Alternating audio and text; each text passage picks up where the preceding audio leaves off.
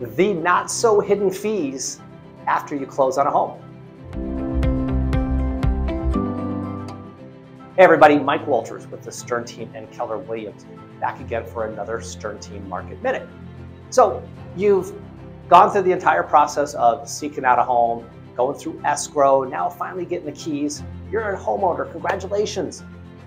But now what? Because unless you have a new build home, brand new, like there's costs associated with a home as soon as you move in. So let's dive through what some of those could be.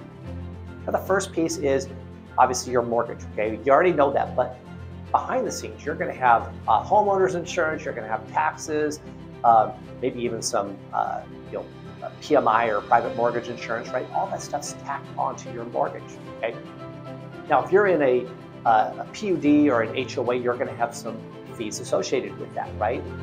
On average, they go about 250 bucks, but my gosh, some parts, um, and I won't disclose where, you can see that anywhere up to about 800 to 1,000 bucks a month, right? So HOA fees are, are something that sometimes hits us on the backside when we weren't expecting it. And then we get to the actual cost of maintaining your home, which includes repairs. So think about this in terms of repairs. If you're looking to uh, improve or replace your HVAC system, right, you could be looking at thousands and thousands of dollars. For roofing repairs, you know, could be a couple hundred bucks all the way up to a few thousand bucks.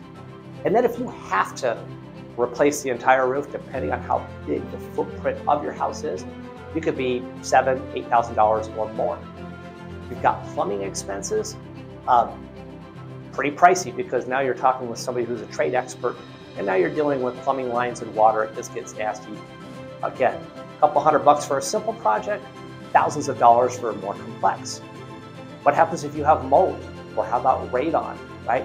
You're talking to remediate that stuff. You're talking several hundred dollars um, and sometimes upward to a couple of thousand dollars. And finally, you know, one that doesn't happen a lot here in Utah is like pest uh, infestation. And we're talking specifically termites, could be rodents, still happens. That's why you want to have that looked at when you do your inspection. You're talking several hundred dollars. And when you add all of that up, the cost of getting your home up to speed or up to your specs after you take the purchase could be thousands of dollars. So keep this in mind when you go to do your inspection, right? Go through it with a fine-tooth comb. Make sure you work with your realtor and the other party to make sure you get that home in as best condition as possible. As always, if you've got other questions, you've got comments, want to discuss it, give us a call, text, or emails. We'd love to help.